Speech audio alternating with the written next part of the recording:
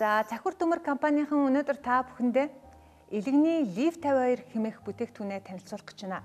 Тэгэхээр магадгүй одоо илгэн өвдсөн хүмүүс л үүнийг одоо хэрэглэх ёстой гэсэн буруу ташаа ойлголт байж болох юм. Тэгвэл өнөөдөр үгүй юм а те эрүүл илэгтэй ч гэлээ гэсэн элэг ямар үүрэгтэй байд хийгээд яагаад жишээлбэл хортой болчдөг яагаад бидний буруу дадал хөвшил элгийг бас тийм ээ тэр их том фабрикийг бас гимтэх хэмжээнд бид нэр хүрчээд идэг юм бэ. Энэ талын мэдээлэл өгөх чинь тэр тусмаа ялангуяа одоо бодибилдинг фитнесээр хичээлдэг залуучууд байх юм бол та бүхэн анхаарлаа илүү төлхөө нааш нь хандуулаарай гэдгийг хэлмээр байна.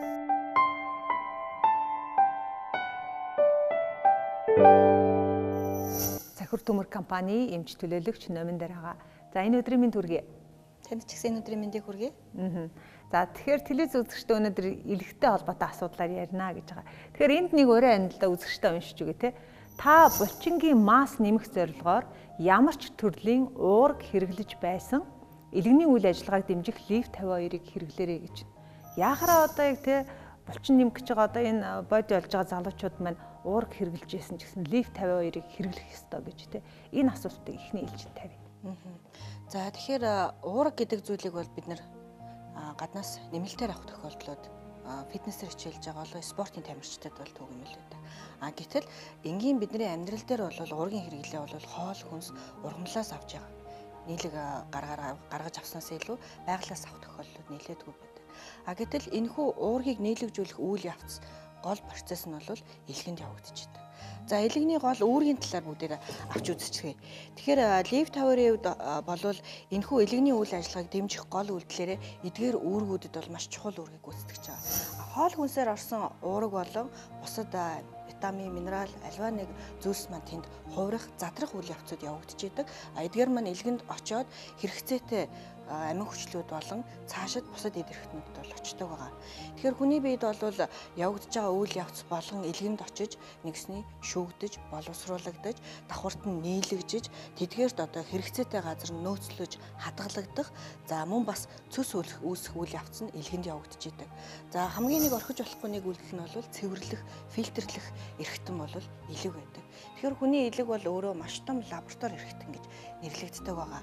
Тэгэхээр энэ үйл явц болгонд элэг бол а маш ач холбогдолтой учраас эдгээрийг дэмжих нь бол заашгүй хэрэгтэй.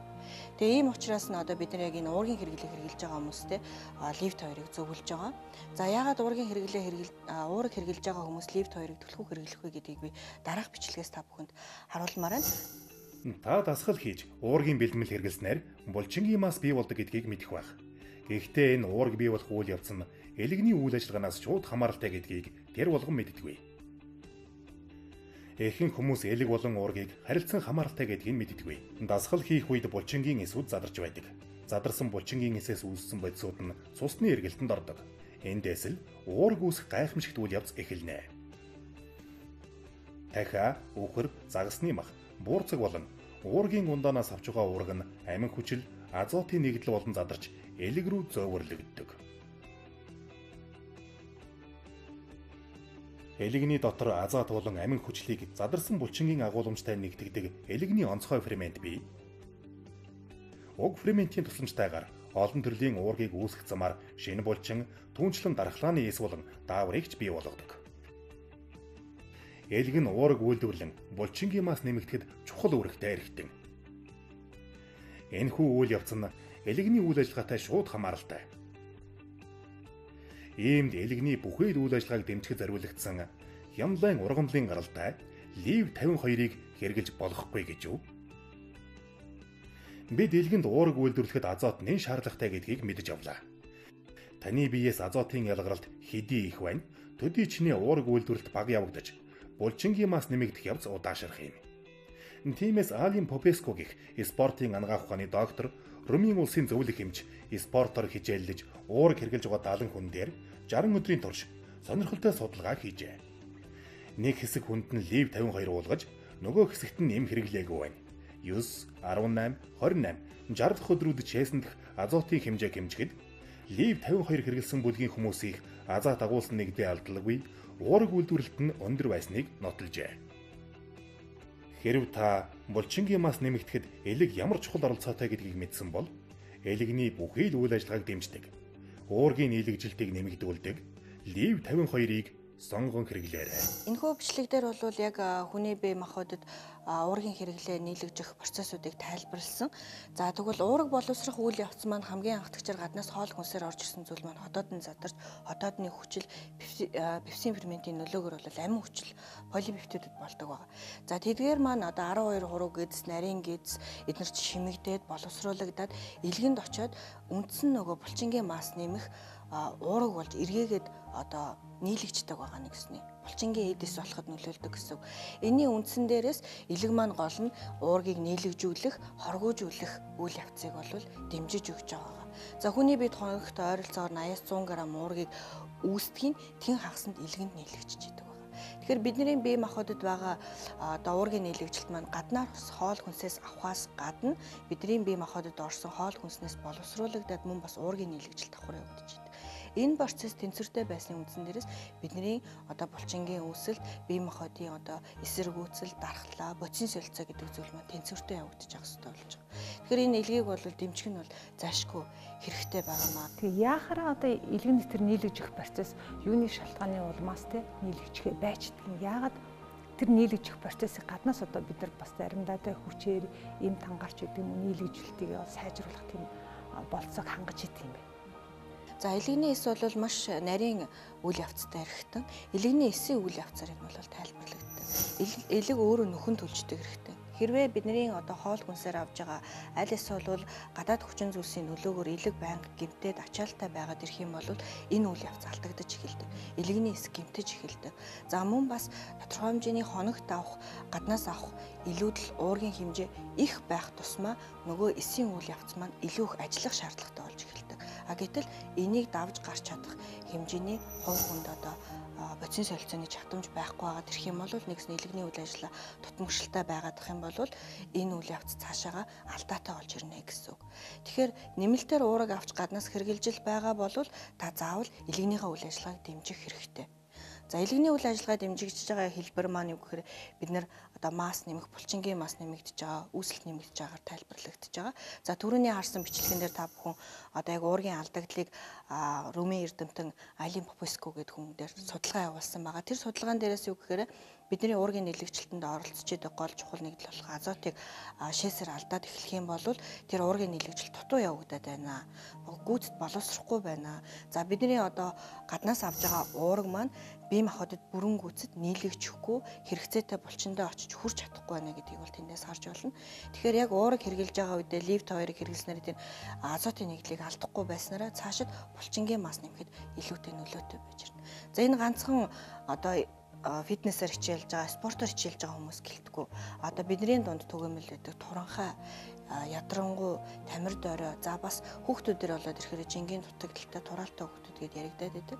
За ингээд ирэхээр цаашлаад бол энэ илгэний үйл явц бол маш чухал үүргийн оролцоо бол бидний биеийн масс ерөнхий бүтцэд бол маш чухал үүрэгтэй. Тэгэхээр яг тэр одоо гол нийлэгжилтийг дэмждэг хэрэгтэй одоо амин бодис амин хүчлүүд одоо энэ дотор байдаг байх нэ гэж одоо би ойлгож болох нь лив 52 гэдэг танаа одоо яг бүтээгдэхүүнд тийм ээ. Лив 52-д болохоор тэдгээр амин хүчил болон уургийн нийлэгжилтийг илгэний эсийн үйл явцыг дэмжиж өгснөөрөө гаргаж өгч байгаа гэсэн үг.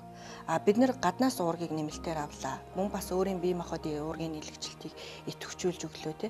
Тэгэхээр энэ үйл явцад илэгний эс маш чухал үүргийг үүсгдэг учраас Live 2 гэдэг энэ хүү эргэлмэл маань илэгний эсийг хамгаалах, илэгний эсийн гадна бүрхүүлийг гимтлээс сэргийлэх, нөхөн төлжүүлэх үйл явцыг дэмжиж өгдөг.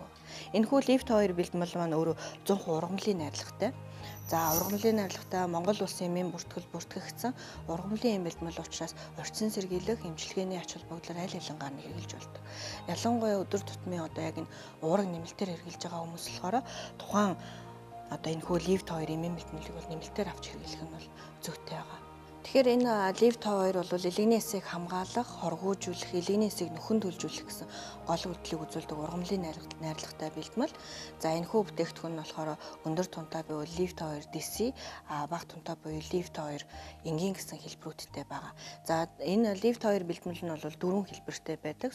Тусаалга сироп нь бага насны хүүхдэд хэрэглэхээр, шахмалын насан туршид хэрэглэхээр тохиромжтойгоор савлагдсан байдаг. За тэгэхээр энэ лифт 2 эмийн бэлтгэлийг бол та бүхэн одоо өнөөдрийн үед бол уургийн хэрэглээ жингээ нэмэх гэж байгаа, булчингийн мас нэмэх гэж байгаа хүмүүс маань одоо уург хэрглэж байгаа болон нэмэлтээр хоол хүнсээр авж байгаа уургийн нийлэгчлэлтийг зөв за тэгээд боловсруулах үйл явцын дэмжихүүднээс энийг хэрэглэх боломжтой байх нэ. За мөн бас өөрөө эмчилгээний ач холбогдолтой За тухайн илгэний эсийн гэмтлэхэр явагдаж гин өөрчлөлт хэрэг гэдгээс шалтгаалаад эмчт бас үзүүлээ тохирох тунгаар нэмжлэгэнд авах боломжтой. Энд чинь энтгэг улсад үйлдвэрлэгдсэн те. Тэгээ яг тэндээ бол яг клиник судалгаа нь одоо хэд орчим хүн дээр хийгдээд яг те бүрэн батлагдсан байдгийг хитон данх яг үйлдвэрлэгдсэн тийм ээ бүтээгдэхүүн за түүнээс гадна давхар нэмэлтээр нэг мэс угсраад асуучхад тийм ээ бага насны хүүхэд ялангуяа тэр жингийн дутагдaltaй байдаг л да тий. Тэгэхээр тийм хүүхдүүд маань бас одоо яг тэр түрүүний тэр сироп хэлбэртэй байдаг гэж түүнийг бас хэрглэж болох уу? За Lift 2 эмийн бүтээгдэхүүн нь бол Химладра компани эмийн бүтээгдэхүүн Химладра компани нэмтгэг улсад үйл ажиллагаа явуулдаг. За дэлхийн улс орон бүрс тухайн бүтээгдэхүүнүүдэд бол албан ёсоор хүргэж гаргадаг байгаа. За Монгол улсад бол захиур төмөр компани албан ёсоор оруулж ирэн хэрэглэгчтэй хүргэдэг бөгөөд за энэ хөө лифт 2 нь дөрвөн хэлбэртэй. За бага насны хүүхдэд хэрэглэхээр болохоор тусаалга сироп гэсэн хэлбэрүүдтэй. За бага насны хүүхд буюу одоо 6 хүртэлх сартай хүүхдэд болвол физиологийн шаарлалтууд байна, эмгэг шаарлалтууд явагдаж байгаа үед дэлгэний үйл ажиллагааг дэмжих нь бас бие махбодын хордлогоос сэргийлж өгнө. За нэрэн шаарлалтанд бас лифт 2 тусаалга нь эмчилгээний ач холбогдол өндөртэй байдаг. За 6-аас дээш сартай хүүхдүүдэд бол жингийн тутмагшилтай хоолны дуршил буурсан за юм идэхгүй байна гэдэг ээж авнаар аягүй ярьдаг шүү дээ. Тэдгээр хүүхдүүдээс илгэний үйл ажиллагааг дэмжих нь бас ач холбогдолтой байдаг. Тэгэхээр лифт 2 сироп хэлбэртэйг нь эдгээр хүүхдүүдэд уулгаж хэрэгжилж болно гэсэн үг. За мөн бас одоо шаралж исэн нэрэн шаралтай халдвар шараар өвчлөж байгаа хүмүүст бол эмчилгээний ач холбогдлоор лифт 2 сиропыг хэрэгэлдэг байгаа. За насанд хүрсэн хүмүүс болон шахмал юм уламжтай насны хүүхдүүд бол лифт 2-ын 100 ширхэгтэйг нь бол хэрэглэнэ. За энэ хүүг хэрэглэхдээ бол хэрэглэх заавар нь бүгд монгол хэл дээр байдаг. За доторх заавар дээрх мэдээлэлтэй танилцаад тохирох туншлаар нь хүүхэд олон насанд хүрэгчдэд авч хэрэглэх боломжтой байгаа. За тэгээд мөн бас шахмал хэлбэртэй нь бол өндөр тунтай буюу лифт 2 тэсий гэсэн хэлбэртэй байдаг. За энэ хоёрын ялгаа нь болоод ирэхээр найрлагын дагуулгадж байгаа ургамлын туншлаараа л ялгаатай үйлдэл нээжлэхэн эмчилгээний нь бол адилхан. Энд чинь бас ургамлын гаралтай байгаа шүү дээ тийм ээ. Тэгэхээр магадгүй одоо хориглох заалт гэж заалттай хүмүүс ч гэж байдаг шүү дээ тийм хүмүүс байх уу бас зарим нэгэн одоо хашлах гаж нөлөө энэ төр илэрсэн тохиолдол юмнууд байдаг. Лифт хорийн үед бол олон улсад хийгдсэн маш олон судалгаанууд байдаг. Ялангуяа одоо мета анализ судалгаа гэж нэрлэгдэх судалгаа Тэр нь юу гэхээр олон жилийн хугацаанд маш удаан хугацаанд хийгдсэн судалгааны үр дүнг нэгтгэсэн судалгааг метаанализ судалгаа гэж нэрлэдэг. Тэгэхээр Левта 2 дээр яг метаанализ судалгаа илгэний өргөслийн эмчилгээ бол илгэний гепатитийн үед хийгдсэн судалгаан дээр аюулгүй байдал нь ямар үр дүнгийн үед ямар эмчилгээний идэвхтэй байна гэдгийг судалсан байдаг. Тэгэхээр энэ олон жилийн хугацаанд хийгдсэн судалгаануудын дүгнэлтэн дээрээс болов Левт 2 нь хүний бие зохимцайтай хор аюулгүй за тухайн судалгаануудад бол ямар нэг байдлаар гаш нөлөө мэдээлэгдэг одоогор бол бүртгэгдэг байгаа. Тэгэхээр альч насны альч хүмүүст энэ бүтээгдэхүүнийг хэрэгжилж бол боломжтой. Ер нь бол өнөөдөр бол голчны яг эрүүл хүмүүстэй зориулж исэн. А магадгүй одоо бас илгэний тодорхой хэмжээний өвчлөлттэй байх юм бол бас энэ бүтээгдэхүүнийг давхар хэрэглэхэд бусад эмтэй хэрэглэхэд бол нэг тийм гач нөлөө байдгүй. Бусад эм бэлтгэлтэй бол хамт хэрэглэхэд ямар нэгэн нөлөө бол байхгүй. За тэгээд баярлалаа. Өнөөдөр илэг гэдэг чинь өөрөө хүнд маш чухал эрхтэн. Тэр илгийг мэн эрүүл байлгах, та бидний одоо эрчтэй хүчтэй байлгах одоо тэр бүх нөхцөлийг хангадаг одоо илгийг мэн эрүүлжүүлдэг, тамир тэнхээтэй байлгадаг тийм бүтээгдэхүүн бол одоо ерөөхдөө лив 52 юм а тэр дундаа бас те фитнесээр хичээлж байгаа хүн ч гэсэн бас зайшгүй хэрэгтэй уургийг бас нийлэгжилтэнд бас хэрэгтэй байдаг бүтээгдэхүүн байна гэсэн ойлголтыг авлаа. Зүг үү те? Яг тий. А фитнесээр хичээлж байгаа хүмүүсийн хувьд нөгөө илгээ хамгаалах, уурыг илгээ гимтээдэг гэдгийг маш их мэддэг. Тэгээ гимтээд байна гэдгээсээ илүүтэйгээр нийлэгжилтэнд бол илгээний үйл ажиллагаа маш чухал оролцоотой юм шүү. Тэр нөгөө яг булчингийн ширхэг үүсэх, булчингийн мас үүсэх, цаашлаад амин хүчил болох нэгдлүүдэд маань энэ лифт хоёр оролцоо маш чухал учраас илгэний үйл ажиллагаа маш чухал оролцоотой учраас та бүхэн лифт хоёрыг бас сонгон хэрэглээрэй. Илгэний үйл ажиллагаа дэмжих нь уургийн хэрэглээнд бол маш чухал юм аа. За альва ямиг хэрэглэх юм та бүхэн эмийн заавартай сайтар танилцах хэрэгтэй. Заавар дээрх тунг яг тохирох насанд болон тохирох эмчилгээнд аваад хэрэглэх бол боломжтой юм аа.